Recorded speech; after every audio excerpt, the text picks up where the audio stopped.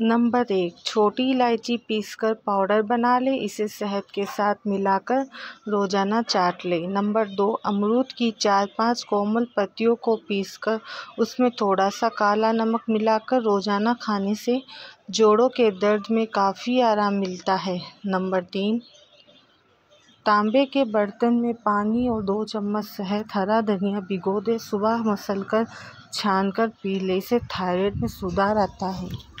Number चार, तुलसी की दस से बारह पत्तियों को दिन में दो बार चबाने से तनाव दूर किया जा सकता है। नंबर पाँच, हल्दी वाला दूध में रुई भिगोकर चेहरे पर लगाने से त्वचा साफ़ हो जाती है और उस पर निखार आता है। नंबर छः, रोज़ाना हल्दी वाला दूध पीने से चेहरा चमकने लगता है। नंबर सात, लीवर को बचाना चाहते हैं तो फेट वाली चीज़ें का सेवन ना करें। नंबर आठ।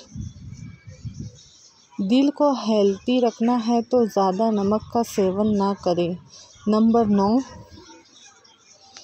आपको रोज़ाना तीन चार खजूर ज़रूर खानी चाहिए। इससे आपको कमज़ोरी दूर हो जाती है और मेमोरी तेज़ होती है और बालों का झड़ना रोकती है। नंबर दस।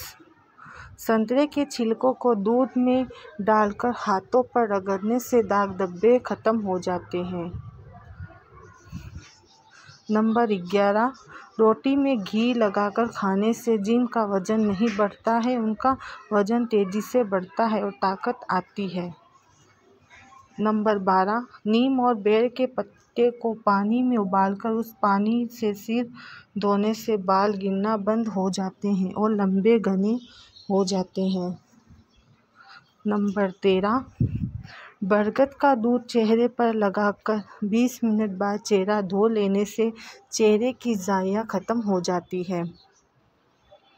नंबर चौदह। दही जमाने से पहले दूध में ना, दूध में एक टुकड़ा नारियल डाल दे। दही दो तीन दिन तक ताज़ा रहता है। नंबर पंद्रह। घुट घुटनों में सरसों का तेल लगाने से घुटनों के दर्द में आराम मिलता है और सूजन कम होने लगती है। नंबर सोलह, हिचकी आ रही है तो काली मिर्च और मिश्री, साथ ही चबा, इससे हिचकी आना बंद हो जाती है। नंबर सोलह, मुँह में पानी भर कर नहाने से कभी जुकाम नहीं होता है।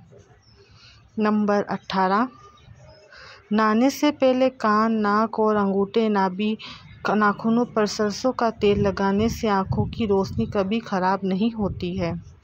नंबर उन्नीस। उल्टी गिनती करने से याददाश्त तेज़ होती है। नंबर बीस। बच्चों को जंक फ़ूड और मैदे की चीज़ें ना दें। नंबर इक्कीस। यदि रात को नींद नहीं आ रही है तो पैरों के तलवों पर सरसों के तेल से मालिश करने से नींद अच्छी आती है। नंबर बाईस। खाना खाने के बाद गर्म पानी का इस्तेमाल करने से खाना जल्दी हजम हो जाता है। नंबर बाईस।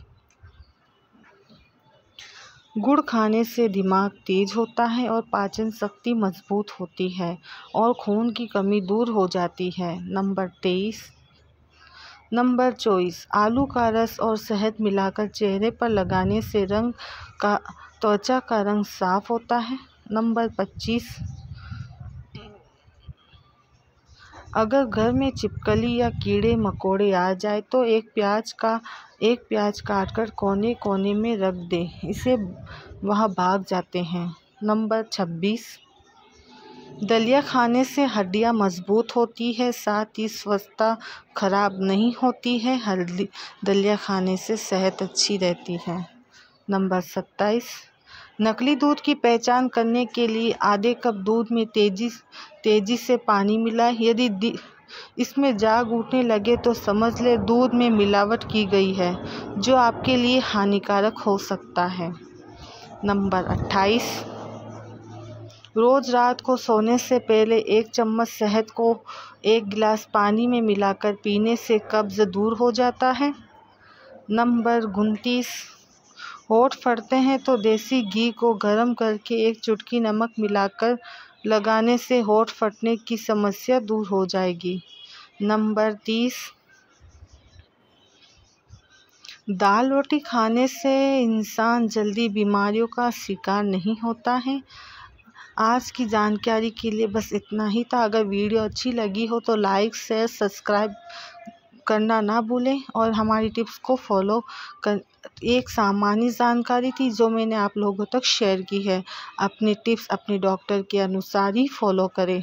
तो मिलते हैं कुछ ऐसी ही वीडियो के साथ। तब तक के लिए, टेक